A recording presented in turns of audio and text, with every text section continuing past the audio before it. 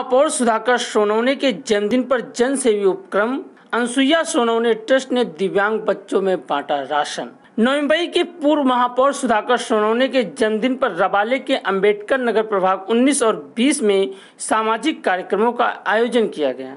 यहाँ अनसुईया सोनवने ट्रस्ट द्वारा सैकड़ों बच्चों को किताबें और राशन वितरित किए गए।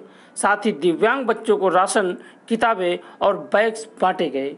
काशीराम हिंदी विद्यालय में आयोजित कार्यक्रम में बोलते हुए सुधाकर सोनवने ने कोरोना महामारी में सावधानी बरतने की अपील की। उन्होंने कहा कि सामाजिक दूरी शब्द का उपयोग करना बंद करें, क्योंकि यह शब्द छुआछूत को बढ़ावा देता है। इसलिए सामाजिक दूरी शब्द की जगह सुरक्षित अंतर शब्द का उपयोग करें। नाटक किया है बच्चे लोग को। और अनुसाय सोनोने ट्रस्ट तरफे और चावल और किताब देने को आए हूँ। कि सोशल डिस्टेंस इस शब्द का मैं निश्चित करता हूँ और सोशल डिस्टेंस ये शब्द का प्रयोग इस बीमारी में नहीं करना चाहिए। इसका दूसरा अर्थ ही छुआछूत होता है, इसलिए सुरक्षित अंतर कहिए और मास्क और सैनिटाइजर जो है, ये इसका कितना असर है, ये तो डब्ल्यू एच ही बता सकती है। पूर्व महापौर ने कोरोना महामारी में चल रही शिक्षा व्यवस्था पर गंभीर सवाल खड़े किए। उन्होंने कहा कि महाराष्ट्र सरकार कहती है कि दसवीं की परीक्षा तय समय पर होगी। इसका मतलब ये है कि बच्चों को बिना पढ़े ही परीक्षा देनी पड़ेगी। ऐसे में अमीर घरों के बच्चे जिनके पास संसाधन हैं वो तो पास हो जाएँगे और गरीब घरों के बच्चे फेल हो जाएँगे।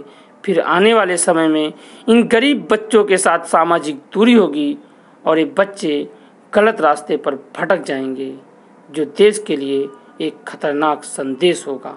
आ, सरकार ने एक ये निकाला और कहा कि स्कूल शुरू नहीं होगे 31 दिसंबर तक स्कूल बंद रहेगी। लेकिन उसके नीचे की दो लाइनें थी, उसमें लिखा था माध्यमिक और उच्च माध्यमिक जो है, वो शेड्यूल से परीक्षा होगी।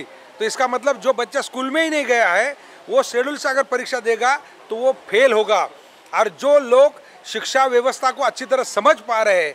उन लोगों ने काफ़ी तैयारी कर रखी है और वो जो बच्चे पास हो जाएँगे आईआईटी होगी विजेटीआई होगी या मेडिकल में तुम्हारा जेजे होगा साइन होगा जितने भी सरकारी मेडिकल सीट्स होंगे वो सारे के सारे ऐसे बच्चों को जाएँगे और आप और मैं रास्ते पे पत्थर मारते हुए नज़र आएँगे। Bureau report TV One India.